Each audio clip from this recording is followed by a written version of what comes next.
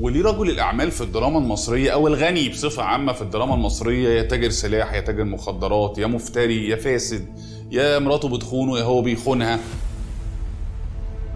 أنا بقعد دلوقتي يعني بفر 26 مسلسل مفيش رجل أعمال شريف تقريبا.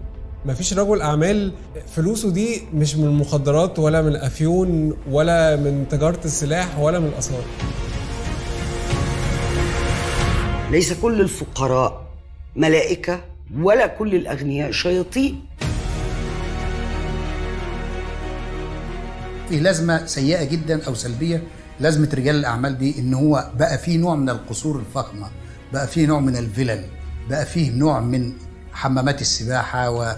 ورفاهية ويصور لك المجتمع المخملي بطريقة بتستفز شعور المواطن البسيط. دايما بيطلعوا راجل الاعمال إن هو زعيم عصابة. دايما وراه فساد. ال- الواقع بيقول لنا إن في رجال أعمال على درجة كبيرة من الشرف وعلى العفة وعلى درجة كبيرة من الأخلاق والالتزام والتدين. رجل أعمال هو رجل أعمال اللي بي عنده فريق آه، بيلعب لحسابه وبيقدر يحط لك حتة حشيش اللي هي الحاجات التقليدية دي اللي عشنا عليها من 100 سنة. السنة دي في حالة عامة كده من إنه كل سكان ال compounds ناس أخلاقياتهم وضيعة في الدراما مش بتكلم في الحقيقة بيعملوا ده عشان يطمن ال- اللي ما عندوش فيلا في compound إن أنت أحمد ربنا أنت ربنا. بعدك عن الناس دي وأن كل الفقراء أو أغلب الفقراء هم الناس الطيبين الكويسين الحلوين ال- والحقيقة ده منطق درامي خاطئ وأيضا منطق حياتي خاطئ. طب وليه ما يعملوش راجل أعمال شريف وعظيم ورجل خير ويطلع منه نقاط إيجابية أصلا تفيد المجتمع؟ هي الفكرة دايما إنه الدراما ما بتهتمش بالطيبين.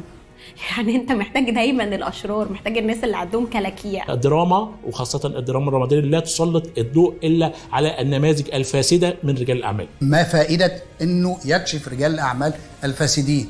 إيه اللي هيعود على المواطن؟ ما هو اللي بيعود على المواطن إنه تقدم له نموذج يحتذى به.